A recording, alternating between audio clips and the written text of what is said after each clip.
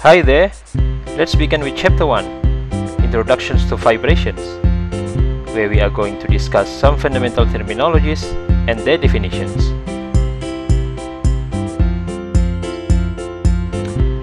In a vibrating system, there are three important elements we should identify. The first one is the mass, which relates to the motions of a rigid body.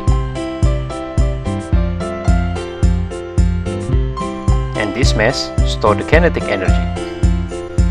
The second one is the stiffness, which corresponds to the deflections of a flexible component.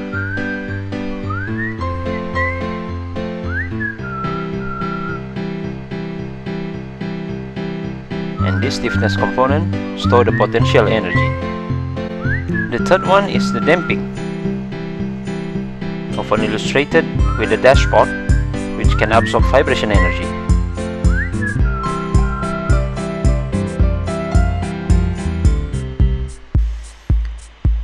Now assuming there is a centrifugal machine mounted on a flexible rubber attached to a rigid floor and vibrate vertically, say with amplitude x,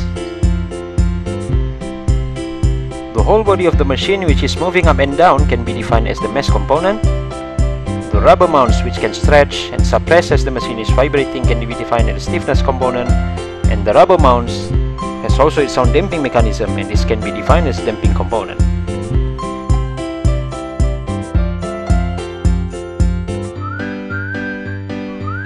And this diagram model, we call it the mass spring damper model. Now let's look again at the machines mounted on a flexible springs on a rigid floor. Vibrating with maximum displacement from the equilibrium positions O, the amplitude is defined as how far the machine displaces from point O to A or from O to minus A.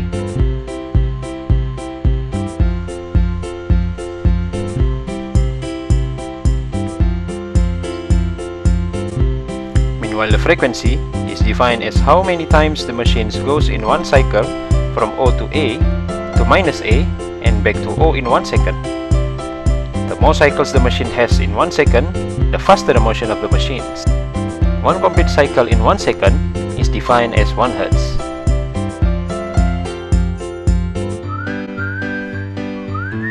The phase describes the behavior of the motions.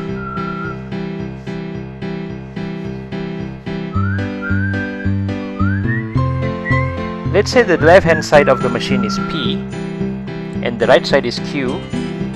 If they move in opposite directions we say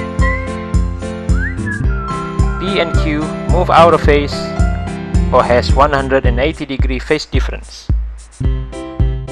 Okay, so let's write down the amplitude of the vibrating system as the functions of frequency and the phase. It's xt equals to A sine omega t plus phi, where A the maximum amplitude, omega is the frequency,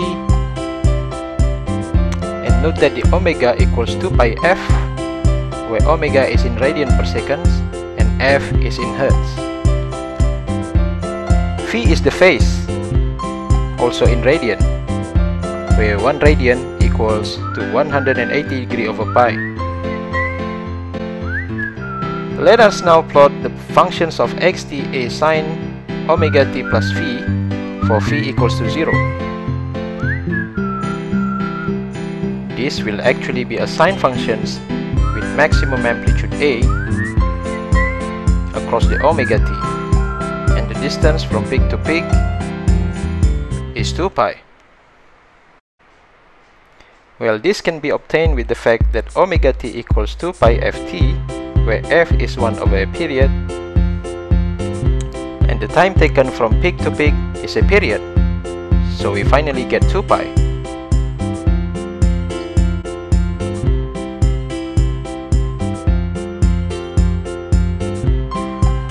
Now say this curve is b